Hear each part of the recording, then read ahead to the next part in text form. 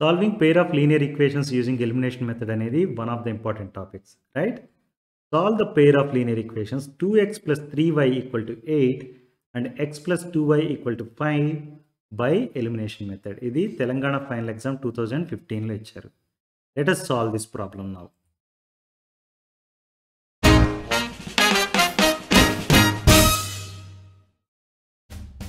In our channel, we have videos on math concepts, example problems, exercise problems, and important questions from old question papers and model papers. Subscribe to our channel now and share it with your friends. Thank you. Solve pair of linear equations 2x plus 3y equal to 8 and x plus 2y equal to 5 by elimination method. Elimination method అనగానే మనకి గుర్తు రావాల్సింది ఏంటంటే we want to eliminate one of the variables first from these equations okay ఈ రెండు ఈక్వేషన్స్లో ఒక ఈక్వేషన్ని modify చేయాలి. మాడిఫై చేసి ఆ ఈక్వేషన్ని రెండో ఈక్వేషన్ నుంచి సబ్ట్రాక్ట్ చేసినప్పుడు కానీ యాడ్ చేసినప్పుడు కానీ one of the variables eliminate అయిపోవాలి. అందుకే ఎలిమినేషన్ మెథడ్ అంటాం. రైట్ సో నౌ ఇక్కడ ఎక్స్ కోషెంట్ టూ ఉంది ఇక్కడ ఎక్స్ కోషెంట్ వన్ ఉంది. now can I multiply this equation with number two if I do that అప్పుడు ఈ ఈక్వేషన్ ఏమవుతుంది two x plus four y equal to ten అవుతుంది right two x plus four y equal to ten అయింది second equation two x plus four y equal to ten అయింది first equation two x plus three y equal to eight now I want to subtract this equation from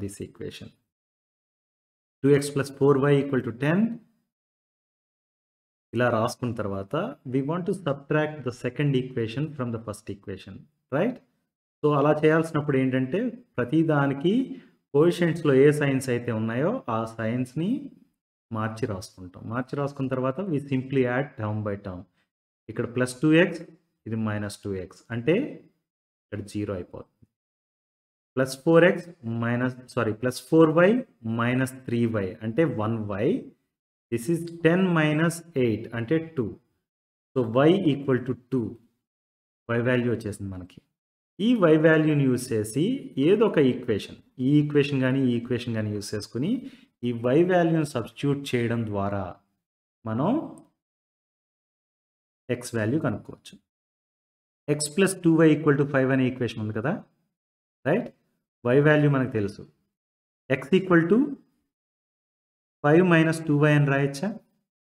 తర్వాత why value ఇక్కడ two substitute చేసాం అనుకోండి. Five minus two into two అంటే five minus four that is equal to one X value equal to one అయింది. So X equal to one and Y equal to two is the solution for given set of equations